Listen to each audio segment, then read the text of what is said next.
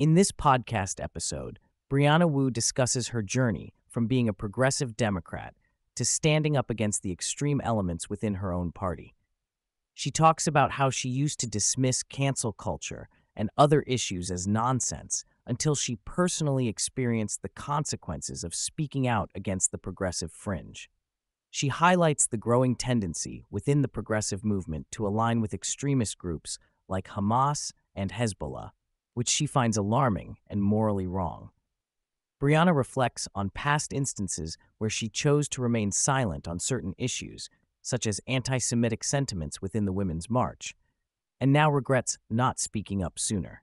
She acknowledges the need for progressives to address real policy issues like healthcare, rather than getting caught up in culture wars and divisive rhetoric. She emphasizes the importance of standing up to cultural bullies and returning to a focus on science and reality in discussions. The conversation delves into the challenges faced by those who speak out against the extreme elements within their own party, including backlash, loss of friends, and damage to reputation.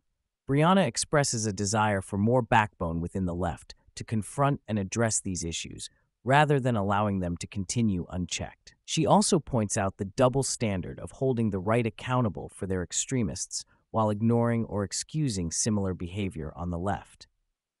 Brianna shares her realization that the left has veered away from reality and lost touch with the concerns of everyday Americans, leading to a disconnect that contributed to the rise of Donald Trump.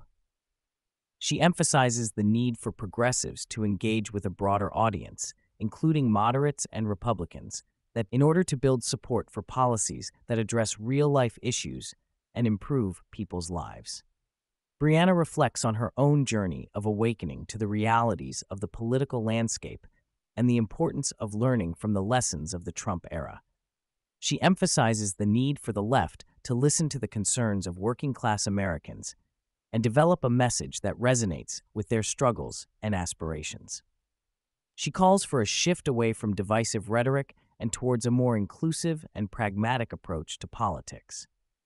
The conversation touches on the decline of feminism due to its focus on boutique cultural issues rather than core policy concerns.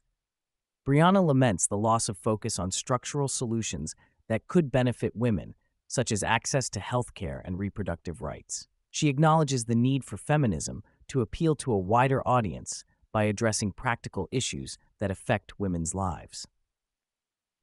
Brianna acknowledges the importance of national security and the need for a strong stance on issues such as Ukraine and NATO.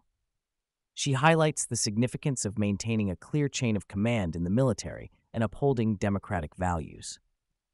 While she praises Biden for his efforts in areas like combating ISIS, she also acknowledges the challenges faced in handling situations like the withdrawal from Afghanistan. The conversation touches on the need for a balanced approach that combines strength with diplomacy in dealing with geopolitical challenges.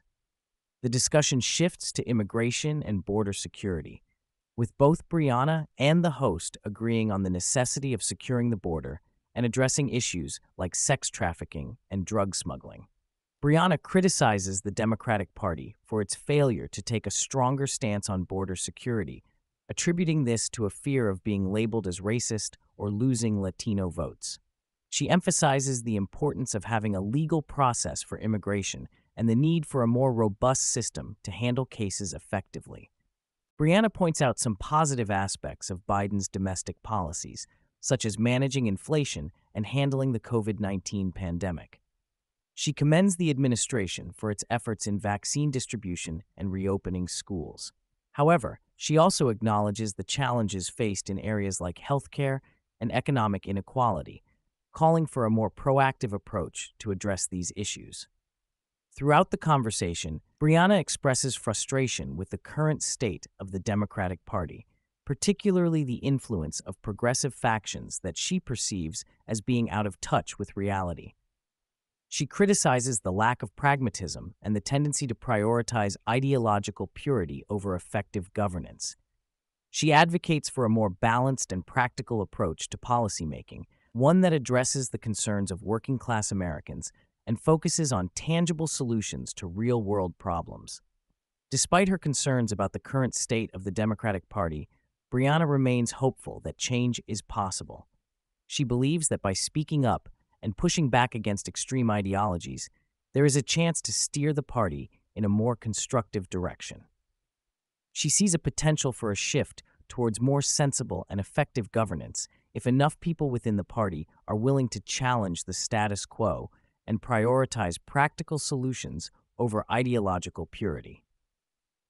Brianna expresses her concerns about the upcoming election, stating that she believes it will be close. She highlights the importance of the ground game in winning elections and mentions that the Democratic Party's data strategy has been effective. However, she criticizes Joe Biden's messaging and expresses her disappointment in his candidacy, feeling that he is too old to be an effective leader. She mentions that she would have preferred candidates like Elizabeth Warren to run for president instead. She also discusses the need for the Democratic Party to address the concerns of young men and to find ways to engage with them effectively. The conversation also delves into transgender issues, with Brianna sharing her views on the topic. She emphasizes the importance of having honest conversations about transgender issues and the need for better policies and support for transgender individuals. She acknowledges the complexities of the issue, including the challenges faced by children who may be confused about their gender identity. She stresses the importance of not rushing into medical interventions for children and the need for more research and understanding in this area. Brianna also touches on the topic of wokeness in society. She expresses concerns about the politicization of gender issues and the impact it has on public discourse. She mentions the need for a more balanced and respectful conversation around gender identity and the importance of allowing different perspectives to be heard. One of the key points Brianna raises is the challenges faced by young men in society today. She discusses the loneliness, confusion, and lack of direction that many young men experience, particularly in the digital age. She highlights the importance of providing support and guidance to young men and the need for public figures who can connect with them in meaningful ways. She emphasizes the role of institutions and culture in shaping young men's identities and calls for a more proactive approach to addressing their needs.